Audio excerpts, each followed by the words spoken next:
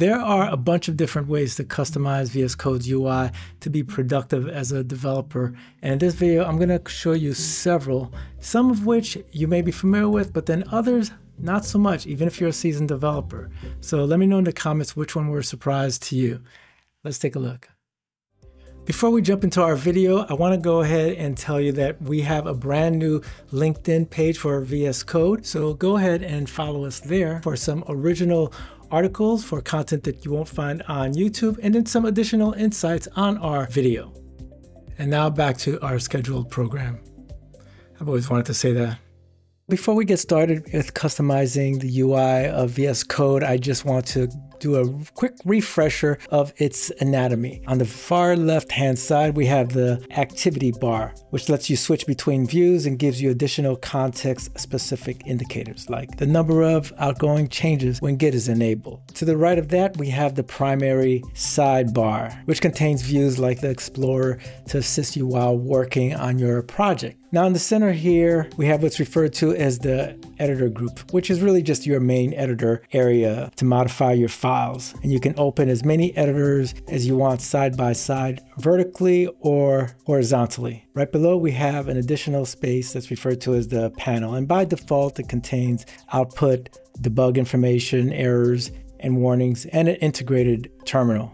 Below that, we have our status bar, which provides information about the open project and the files that you edit. Now with that out the way, let's talk customization.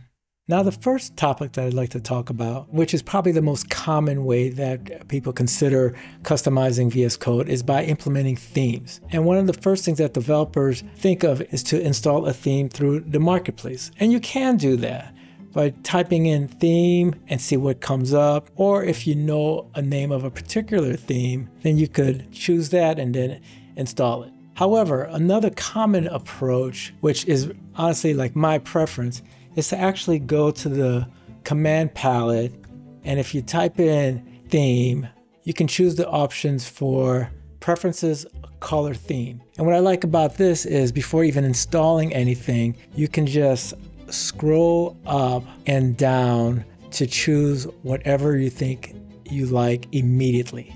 Visually, it's right there in front of your face. Now, there is a limited amount of themes that get shown here. However, if you scroll up at the very top, you'll notice that there is an option for browse additional themes. You get a lot more options. Just scroll down and up, or just go to the right here and through the scroll bar, quickly sift through all the different themes and test them out. Now, once you choose one, like material theme is what I just chose here, then it'll ask you to install that extension. And if I click OK, you can see on the left-hand side, material theme extension showed up. And if I click on it, it was clearly installed. And when I want to uninstall it, I can just come over here to uninstall it.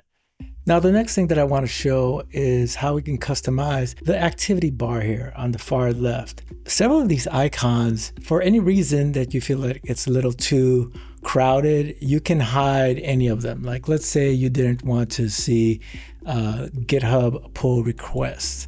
You can come here and just hide that. Also, in terms of organization, if there's something that you want to see closer to the top, like let's say Copilot chat, you can click on it and then just drag it up closer to the top. Now, when you're working with a project file, you'll probably have like your view open here with the primary sidebar. And I want to show you that the activity bar itself could be placed either on the top or the bottom of the sidebar. So for example, if we come over here and right click, you can go to activity bar position and choose top or bottom or hidden. So obviously if we choose hidden, it's just not gonna be there. But let's say we choose top. It looks like it actually went hidden, but it's not. It's right over here at the top of our project files, which is kind of cool if you're a minimalist and you just don't need it taking up extra space. So you can come here and do your search or click on chat and run your commands as you normally would. But I like mine's typically on the left-hand side. So I'm just gonna go ahead and right click somewhere where there's a space between the icons so I can get that context menu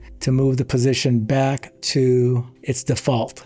Now you might be wondering whether or not you can move this activity bar to the right hand side And by clicking on the context menu and checking the positions, you don't really see an option for the right hand side, but you actually could, but you have to do that by telling the primary sidebar to go to the right, which I can do right here, or if I can collapse my project files here, right click, I still have the option to move primary sidebar to the right. And it hops on over, and there it is, along with the activity bar. Now I'm used to it being on the left hand side, so I'm gonna move the primary sidebar back to the left and then go ahead and demonstrate these same maneuvers can be applied to your panel at the bottom. If I come here and click on the menu bar of the panel, there's an option to move it to the top, left, right, or bottom. If I move it to the right, I can execute my terminal commands from here. But personally, I don't really like that look, so I'm gonna move it towards the bottom. One more thing before moving on, I want to show you is that the same way that earlier on I mentioned we could organize the icons here in the activity bar, you can do the same organizing the different tabs in the panel. So if I wanted to put terminal up front, I could just grab and drag it to drop it over here. And the same applies to the sidebar here too. Just drag what you want to move to the position you want and drop it. Now let's talk about the main editor section. Let's open up a couple of files here. In the controllers folder, I have a home controller file and a product controller. Now, if you look to the far right here, you'll see that there's a section here with tiny little code, which is referred to as the mini map. And you'll notice that when you scroll down your code, you're not noticing any change there in the mini map. But if you actually hover over the mini map, it's going to highlight the area of the code that you're in. And if you click on it, you could actually just quickly navigate to specific sections of your code. Now, I don't really use this that much, and I'm a minimalist, so I usually get rid of it. And to get rid of it, you could just simply right click on it and uncheck minimap. And if you want to bring it back, you can go to view, appearance, and there's an option for minimap right over here. Now in your main section here, sometimes there's several parts of your code that you want to look at at once. So it's nice to have several views of the same file. So for example, what you can do is split the page that you're looking at to either above, below, or to the left or to the right. So for example, if I went ahead and chose below here, I have views of the same page, but then I can just navigate and go down to a portion that I want to keep an eye on. Let's say if I wanted to just look at this method here while I make changes at the top part of the products controller page. If I wanted to add more views, I can come down to this bottom part of the page right here and split that to the right. And now I have three views. But for now, let's get rid of these two and shift our focus to the status bar. Now, just like the sidebar and the activity bar in VS Code, the status bar can also be customized.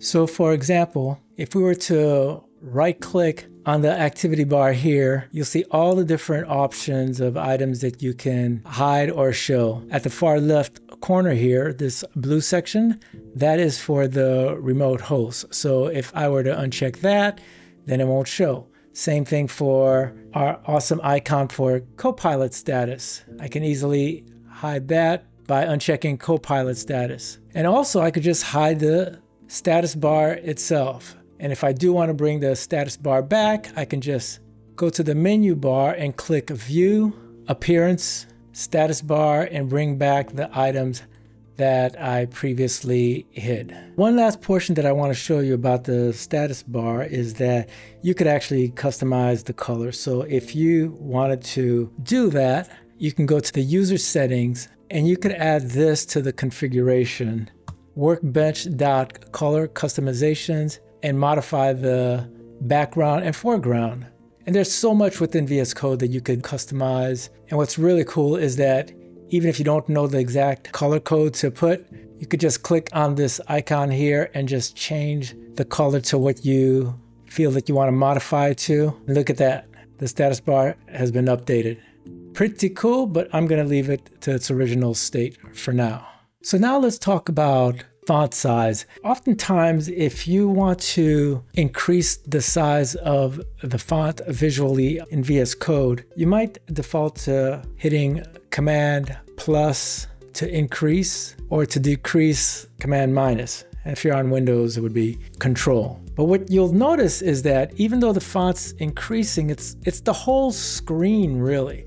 So the activity bar and status bars are also being affected. And if you want the activity and the status bar to stay the same, what you can do is hit Command comma to bring up settings option here and type in font size and just so that we could see the effects of the change, let me go ahead and just grab home controller and just bring it to the left pane here. Right now, you can see it's currently 17, but if I wanted to change that to 27, now that increased the font, but the activity and status bar stays the same. Now I'll switch it back. The same applies also to the terminal. Like my terminal is pretty visible right now, but let's say I wanted the size to be a little bit smaller. I could search for font terminal.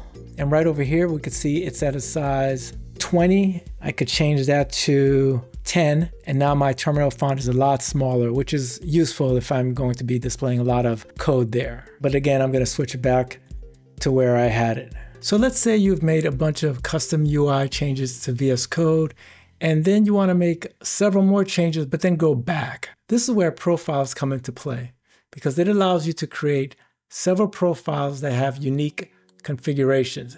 If we go to the gear icon and select profiles, you can see that there's one here that's already called default, but I could create a new one that will be different. Just for the sake so we could easily see the difference, I'm gonna go ahead and change our theme for the default to have a unique color.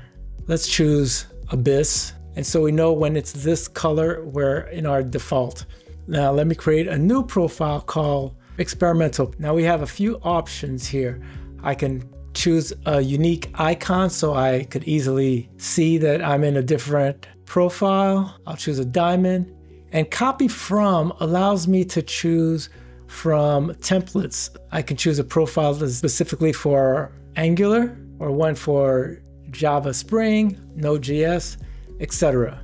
For simplicity's sake, I'm going to choose none and I'll go ahead and choose create. So now if I close out the tab here and I go to the command palette, I can type in switch and select switch profile and go to the new one that I just created. Now you'll see that the whole UI is completely different. It doesn't have any of the extensions that I had before. What we're looking at are popular extensions, but if I look for under install, there's nothing because it's a blank profile. Now, had I chosen a template profile for Angular or Python, all relevant extensions for either one would be installed automatically. And so I can come here, make whatever changes that I want. And what's also nice is once I'm satisfied with my new profile, I can click on the diamond, go to profiles, and right over here, I have the option to export. If you want to see how to export, among other profile features, check out this video here. And if for any reason you have more questions about profiles that's not answered in that video or this one, you can always come to Copilot Chat and specifically use the at VS Code participant and ask it a question or give a declarative statement like explain to me how profiles work and it will do so. And of course, you could ask it any question regarding VS Code and it will give you a detailed answer. So that's it. Hope you got some value out this video. And if you did, please hit the like and subscribe. We actually were just scratching the surface. So if you want to dig into more into some other ways to customize VS Code's UI, check out this documentation right here. And also take a look at some of these other videos that we have here.